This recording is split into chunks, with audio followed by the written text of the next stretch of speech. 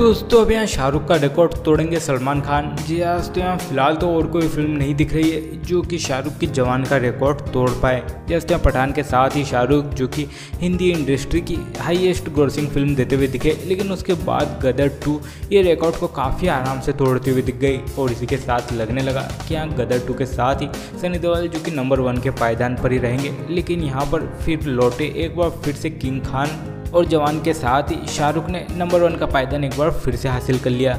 लेकिन जैसे कि दोस्तों, अब यहाँ पर सलमान दिख रहे अपनी फ़िल्म टाइगर थ्री के साथ और यहाँ पर काफ़ी ज़्यादा उम्मीदें दिख रही है कि टाइगर थ्री जो कि जवान के इस रिकॉर्ड को तोड़ देगी। जस्ट लगभग 600 करोड़ से भी ज़्यादा का कलेक्शन करना होगा टाइगर थ्री को, तभी वो नंबर वन का पायदान हासिल कर पाएगी।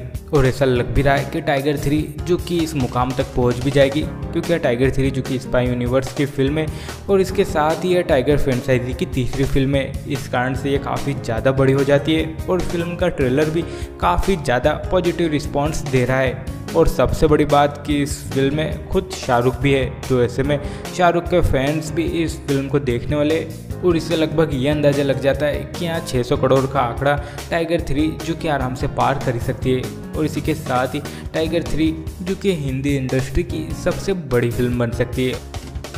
साथ ही और बॉलीवुड से जुड़ी लेटेस्ट अपडेट के लिए चैनल को सब्सक्राइब करें लाइक शेयर कमेंट ज़रूर करें।